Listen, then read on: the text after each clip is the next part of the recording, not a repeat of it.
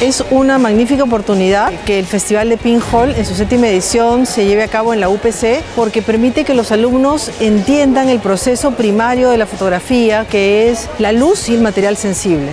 La cámara Pinhole es una cámara oscura con un pequeño agujero por donde entra la luz y genera imágenes. Vamos a transmitir esta versatilidad hermosa que tiene esta cámara y las imágenes tan enigmáticas que nos resulta.